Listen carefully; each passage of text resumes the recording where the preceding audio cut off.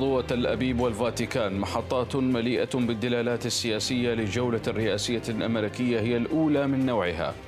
خبر اليوم وزير الخارجية السعودي يقول إن زيارة ترامب المرتقبة للمملكة ستكون تاريخية بكل المقاييس.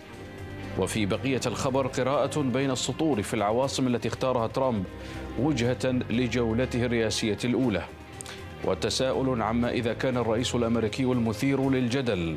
قادرا على العودة من تلك البلاد بغير ما عاد به أسلافه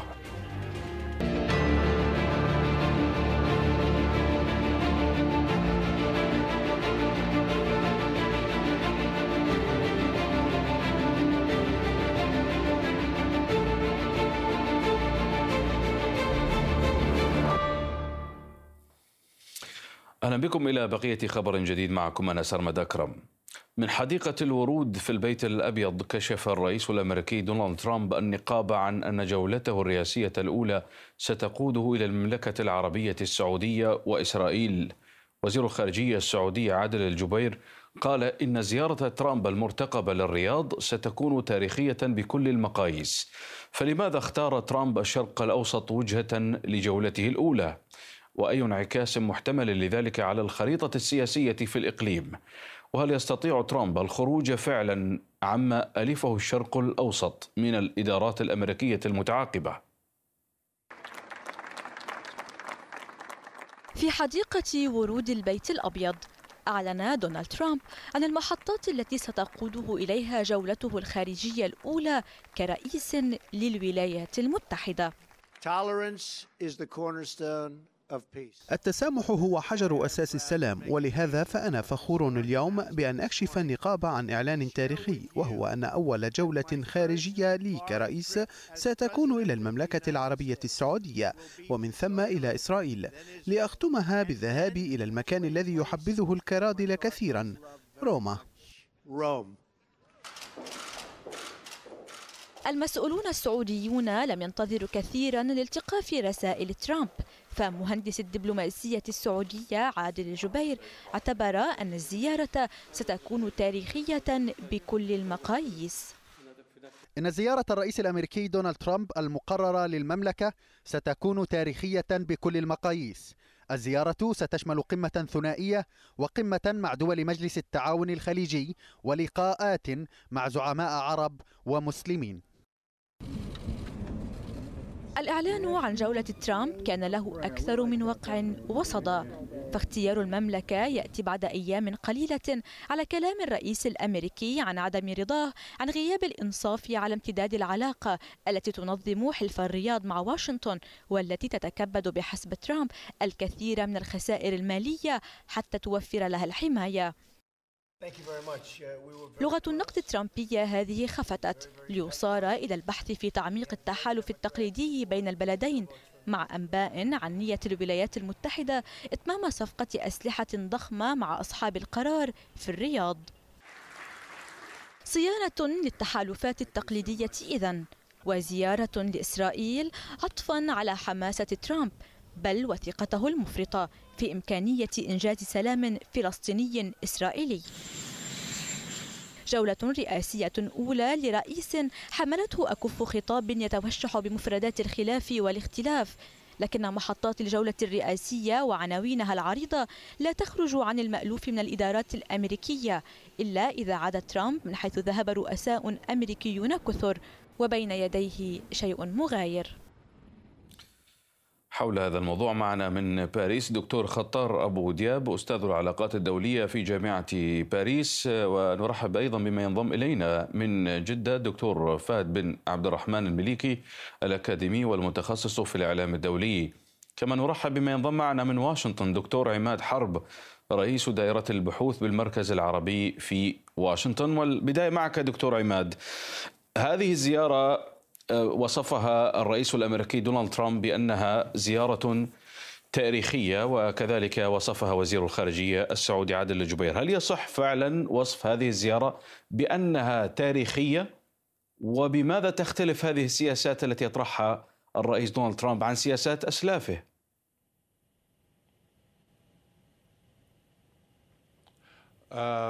شكرا على الاستضافة واتصالاتي إلى الدكتور فهد والدكتور خطار. آه، لا بالحقيقة هناك القليل من المبالغة. لا أعتقد أنها تاريخية بالمعنى التاريخي أنها لم تحدث من في السابق. أعتقد أن الزيارة مهمة جدا.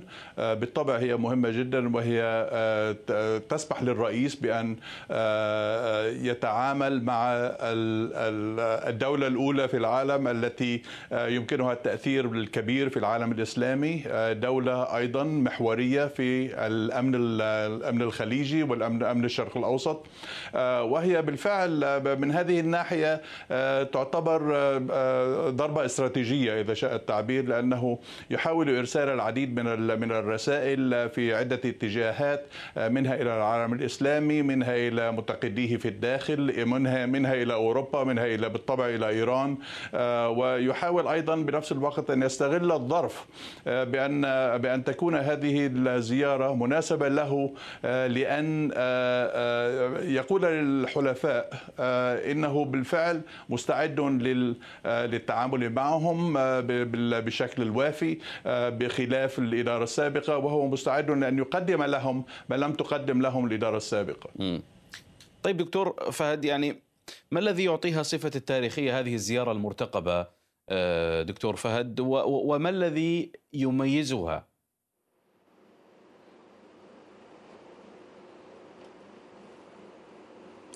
آه.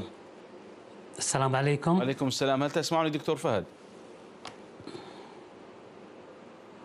إذا آه نعم تفضل الله يعطيك العافية من معي الله يسلمك؟ طيب طيب سألتك قبل قليل عن هذه الزيارة. ألو؟ التي وصفها وزير الخارجية السعودي عادل الجبير بأنها بأن هذه الزيارة المرتقبة ستكون تاريخية بكل المقاييس.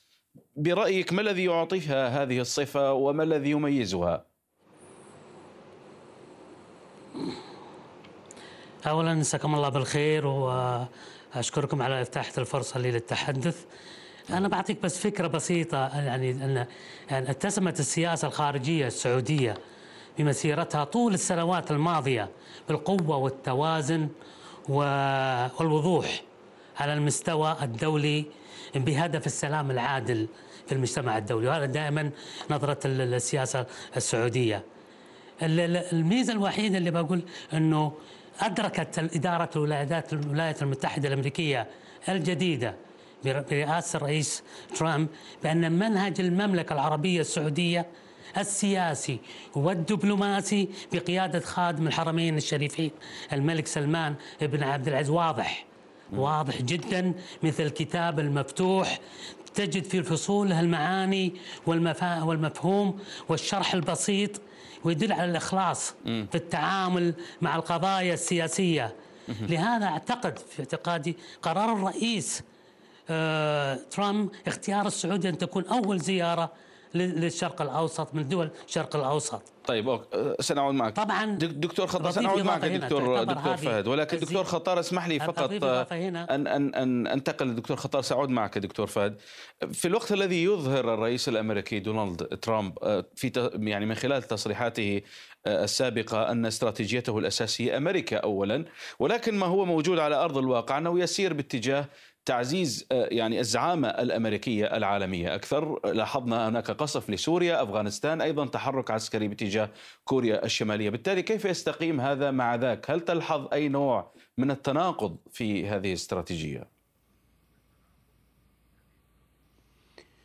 تحياتي لك وللفريق العامل للمحاورين الكرام ولكل من يشاهدنا أو يسمعنا. ليس هناك من تناقض بين الطرح الذي يبدو كطرح انعزالي أمريكا أولا وطرح آخر قال به أيضا ترامب خلال حملته الانتخابية وهو إعادة هيبة أمريكا. عندما ينتخب الرئيس الأمريكي الكل يعلم وكأننا ننتخب زعيم العالم أو رئيس العالم. حتى إشعار آخر الولايات المتحدة الأمريكية تحتكر المكانة أي هي القوة العظمى الوحيدة. ولذا لا يمكن أن نتصور رئيسا امريكيا ينكب فقط على الشؤون الداخلية دون الاهتمام بالقضايا الدولية وبالفعل كما قلتم كانت له معمودية من خلال الضربة التحذيرية التي كانت أقرب للرسالة السياسية في سوريا وكذلك الأمر في أفغانستان وهذا التحرك نحو كوريا الشمالية. الأهم هنا وما سألتموه في السؤال الأول إنه خلافا لإدارة أوباما تنتقل الإدارة تعود إدارة دونالد ترامب إلى ثوابت السياسة الأمريكية أي إلى الحلفاء التقليديين في الشرق الأوسط. وأبرز هؤلاء المملكة العربية السعودية من جهة وإسرائيل من جهة أخرى. والأهم من كل هذا أن هذه ليست أول جولة إقليمية أو جولة آه، هي أول جولة خارجية إلى آه، للسيد ترامب. وأول بلد يحظى بهذه الجولة المملكة العربية السعودية. كان بإمكانه البدء بإسرائيل أو بالفاتيكان. بدأ بالمملكة العربية السعودية رسالة قوية وأراد من خلال المملكة العربية السعودية التوجه للعالمين العربي والإسلامي. هذا يعني أن سياسة أوباما في الرهان على إيران أو في ما سماه الانتقال نحو المحيط الآت المحيط الهادئ وآسيا. نعود الآن للاهتمام الكلي بالشرق الأوسط وبقضاياه وهذا التركيز مهم جدا. هذا لا يعني أن الأمور ستكون ممتازة. ربما سيكون هناك طلبات وطلبات مضادة سيكون هناك حوار. لكن هناك عودة للتركيز على هذه المنطقة اهتمام بهذا الدور السعودي إقرار بأنه لا يمكن الالتفاف على هذه المنطقة من العالم وبالضبط على هذا الدور المعتدل الذي قامت به الرياض تاريخيا وكانت كما قلت وأصر على من الحلفاء التاريخيين لواشنطن. طيب دكتور عماد يعني هذه هذه الزيارة تأتي بعد أيام قليلة من من وصف الرئيس ترامب لعلاقة للعلاقة الأمريكية السعودية بأنها علاقة غير منصفة في ظل عدم وجود يعني مقابل حقيقي للحماية الأمريكية. يعني بالتالي كيف تتسق هذه التحركات مع تلك التصريحات؟ سؤال ممتاز. آه، بالحقيقة هذا آه، هذا أسلوب الرئيس ترامب هو يطلق تصريحات لا, لا, لا يعرف ماذا تعني. وهو بالحقيقة يحاول أن أن يؤكد لمؤيديه الداخليين للذين أيدوه في الانتخابات أنه بالفعل يدافع عن حقوق أمريكا مقابل الدول الأخرى. فهو يطالب طالب السعودية بأن تدفع ما, ما سماه ثمن ثمن دفاعها علما أن السعودية تنفق مئات مليارات الدولارات في الولايات المتحدة على شراء الأسلحة لتأمين أمنها بنفسها. كذلك الأمر هو أيضا طالب كوريا الجنوبية بأن تدفع آه، لنظام الصواريخ ثاد الذي نصبته القوات الأمريكية منذ حوالي أسبوعين في كوريا الشمالية للمدافع عن كوريا الجن... كوريا الجنوبية للمدافع عن كوريا من كوريا الشمالية. لهذا أعتقد أن الرئيس في هذه في هذه الأمور آه، في بعض الأحيان لا يفقه ما يقول بالحقيقة يعني بكل صراحة. آه، المشكلة أنه آه، وهذا وهذا هو ما يدعو للتخوف من مما يصدره مما يقوله ولكن بنفس الوقت التخوف مما يضمره. بمعنى أنه إذا كان إذا صرح بذلك منذ ثلاثة أو أربعة أيام ثم يصرح بعد ثلاثة أو أربعة أيام بأنه سيزور نفس المملكة التي طلبها بأن تدفع ثمن دفاعها. لهذا كيف يمكن أن نؤمن أنه بالفعل مؤمن بعلاقة استراتيجية معينة؟ لهذا على المملكة أن تحذر بالنسبة لرأيي آه، باعتقادي المملكة عليها أن تحذر من أن تنفتح كليا على على الإدارة وعلى إدارة ترامب بالذات لأنه في بعض الأحيان يطلق تصاريح أو آه، إعلانات معينة مجرد فيها آه، دفع سياسي فقط وليس بالفعل خطة استراتيجية لأنه لا ليس له خطة استراتيجية أصلا. طيب. دكتور يعني فهد ماذا ستطلب السعودية من ترامب في الزيارة المرتقبة؟ برأيك. طبعا أنا برجع مرة أخرى وأقول الإدارة الأمريكية الجديدة عالمة وتعلم بأن المملكة العربية السعودية دولة ذات الوزن والثقل العالمي وعضو مهم جدا سياسيا في المجتمع الدولي. وتملك قوة سياسية ودينية. المملكة الحمد لله عندها قوة والمتغيرات الإقليمية والسيطرة المتعلقة بالقضايا العربية. المملكة الحمد لله سباقة في الأمور هذه. ما كانت المملكة قوية في العالم الإسلامي والعالم العربي وفريدة معظما في المجتمع الدولي. طبعا بالنسبة الولايات المتحدة فرصتها أنا أعتقد أن الولايات المتحدة صنع قرارها وهذا ذكاء من الرئيس أن المملكة هي المفتاح الرئيسي في العالم العربي والإسلامي وأنا أتوقع أنه أنه آه، آه، القرار اللي عمله الرئيس آه، ترامب في مكانه أنه أول ما تواصل مع المملكة المصدر الرئيسي للعالم الإسلامي ماذا ماذا ستطلب السعودية من من الرئيس ترامب؟ أول شيء يكون بين تعاون قوي بين واشنطن ومجلس التعاون والمملكة العربية السعودية في مجال والاستقرار المنطقة وتوثيق هذه العلاقات بتسوية المنازعات الإقليمية نعم. وتخفيف حدة التوتر الحادث الآن في الشرق الأوسط طيب سنة سنة نعم. آه، وصلت الفكرة وصلت الفكرة دكتور فهد. دكتور خطار الآن هل هل هل بدأ يعني فعلا ترامب يطور دبلوماسية خارجية مختلفة؟ هل بدأ يدرك مكامن المصلحة الأمريكية من خلال هذا التحرك أو من خلال هذه الزيارة المرتقبة؟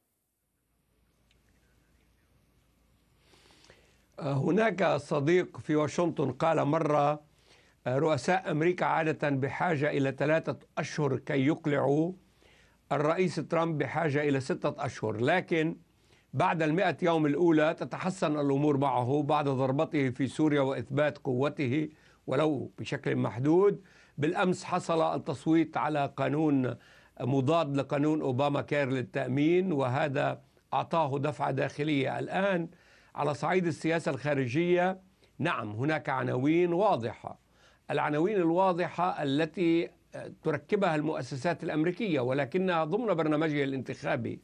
هناك نعم دعم لإسرائيل لأن المسؤول الأساسي في اللعبة هو صهره جريد كوشنار الذي يقود عمليا الاستشارات في السياسة الخارجية. ولكن وجهة النظر تقول باعتبار إيران أكبر خطر مثل خطر داعش. ويعني هناك تواصل في الحرب ضد الإرهاب ضد داعش ولكن أيضا حد من المشروع الإقليمي التوسع لإيران على عكس ما كانت تقوم به إدارة أوباما من رهان على الشراكة مع إيران. ويمكن أن يكون الثمن ربط ما يتصوره من سلام عربي إسرائيلي بهذا الحلف الجديد ضد إيران. وهذا ما فسره اليوم وزير الخارجية السعودي بالكلام عن أهمية المبادرة العربية. نحن في بداية طريق. في بداية طريق لبلورة دبلوماسية لبلورة خطة متماسكة. سنرى بعد ذلك كيف سيتمكن. بالماضي أوباما منذ اليوم الأول راهن مثلا على تجميد الاستيطان. ذهب بعد ثمان سنوات ولم يفعل أي شيء. سنرى هو بالأمس وعد الرئيس محمود عباس بالسلام. سنرى ماذا سيفعل بالنسبة للسلام الفلسطيني الإسرائيلي بالنسبة للمعضلة السورية لمسائل معينة في العراق واليمن وكذلك نعم. الأمر بالنسبة لإيران والدعم الحرب ضد الإرهاب وطمأنة الحلفاء التقليديين. طيب. المشاريع كبيرة إذا الخطط جديدة لكن أظن أن الولايات المتحدة تعود الآن من بعد انكفاء خلال حقبة أوباما للعب دور أتصور تعود للعب دور قيادي في الشرق الأوسط. طيب. دكتور عماد هل برأيك أن السعودية قادرة على إقناع الجانب الأمريكي بأن تقلم أظافر إيران في المنطقة بأن تحد من تدخلات إيران في المنطقة؟ آه، بالحقيقة ليس هناك آه، آه، ليس مطلوبا من السعودية أن تقوم بذلك فإدارة الرئيس ترامب هي التي قررت بالفعل أن أن إيران هي ليست بالضبط عدوة ولكنها هي مركز للاهتمام الأمريكي. أظن أن أنه أن السعودية يستطيع تستطيع السعودية أن تقدم خدمة معينة أن تشير إلى الإدارة الأمريكية بما بما بالفعل يضر تضر في السلوك الإيراني في المنطقة العربية. إيران تتدخل في دول عربية والسعودية دولة ريادية عربية. لهذا على السعودية أن تبرهن عن أن تري الإدارة الأمريكية أن الأساس في هذا كله هو وقف التدخل الإيراني في المسائل العربية إن كان في اليمن أم في سوريا أم في العراق أم في لبنان أم في أي مكان آخر. آه، لهذا أظن أن الإدارة مهيئة لأن لأن تسمع إلى الهواجس العربية التي ستعبر عنها المملكة العربية السعودية. وأعتقد أنها ستستمع إلى ما هي هذه الهواجس وكيف يمكن التعامل معها. في نفس الوقت أظن أن السعودية عندها ثوابت معينة الثوابت المعينة العربية خاصة القضية الفلسطينية والحل السلمي في اليمن والحل السلمي في سوريا ولكن بنفس الوقت عندها أيضا ثابتة وهي ثابتة لا تريد الإدارة لا تريد السعودية من الإدارة الأمريكية أن تنقض اتفاقية الاتفاق النووي. لهذا هي ستحاول أن تقنع الإدارة الأمريكية أنها لا يجب أن تضر بذلك الاتفاق لأن الضرر من إلغاء الاتفاق سيكون على منطقة الخليج بالتحديد في الدرجة الأولى. طيب دكتور خطار ما المقابل الذي يمكن للسعودية أن تقدمه ل يعني للولايات المتحدة مقابل إعادة صياغة هذا التحالف التقليدي؟ نعم هذا التحالف التقليدي الذي بدأ بين المؤسس مؤسس المملكة العربية السعودية وبين الرئيس الأمريكي روزفلت قيل أنه تم إيضاحه أو بلورته فيما سمي وثيقة كوينسي وكانت تظن مقابل الدور السعودي في تأمين أمن الطاقة وتأمين تدفق الطاقة كمنتج للبترول. هناك نوع من الحماية الاستراتيجية الأمريكية للمملكة العربية السعودية وكان هناك اذا تبادل مصالح في هذا الاتجاه ولو أنه كان هناك مراحل صعبة بعد الحادي عشر من سبتمبر ونتيجة سلوك إدارة أوباما في إيران. الآن إعادة التأسيس تتم برأيي من خلال هذا الربط ما بين الملفات. ملف الصراع الفلسطيني الإسرائيلي ومحاولة إيجاد حلة وبلورة التركيز على إيران وعلى الحرب ضد الإرهاب. السيد ترامب بحاجة ليثبت بأنه أكثر فعالية في الحرب ضد الإرهاب كما في الحد من طموحات إيران وكما في بلورة شيء ما ما بين الإسرائيليين والفلسطينيين أكثر من إدارة أوباما. الأشخاص مثل ترامب يجب كما قال الدكتور عماد أن ننتبه لماذا يمكن أن يخفوا لكن في النهاية يمكن أن يفاجئوننا أيضا بأشياء إيجابية بقدرة على الدفع لأنهم عندهم طموح للدخول في التاريخ وبسرعة. طيب دكتور عماد يعني كيف تعلق على ما قاله الدكتور خطار وأيضا هل فعلا مرة أخرى يعني المقابل الذي تقدمه السعودية لمقابل إعادة صياغة هذه هذه التحالفات التقليدية ماذا يمكن أن نتوقع؟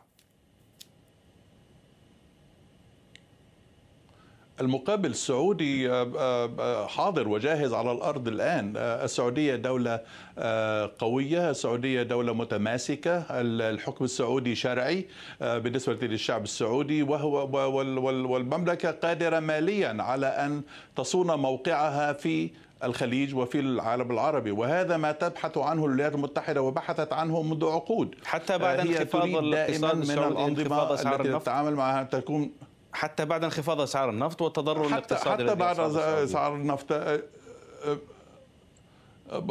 يا صحيح ولكن بنفس الوقت لا يزال الاقتصاد السعودي هو الاقتصاد الريادي في العالم العربي. لهذا السعودية لا تزال الدولة الريادية القيادية في العالم العربي. بالطبع بالتعاون مع مجلس التعاون الخليجي السعودية لا تتكلم بنفسها ولنفسها فقط. السعودية تتكلم أيضا باسم مجموعة دول الخليج وأيضا باسم باسم العالم العربي. لهذا عملية الزيارة ليست عملية زيارة فقط للسعودية عملية زيارة لأنها هناك امتدادات لها عربية وإقليمية أوسع من العالم العربي. نعم قيل المملكة العربية السعودية قادرة على مساعدة الإدارة الأمريكية في تحقيق بعض المكاسب الاستراتيجية لنفسها.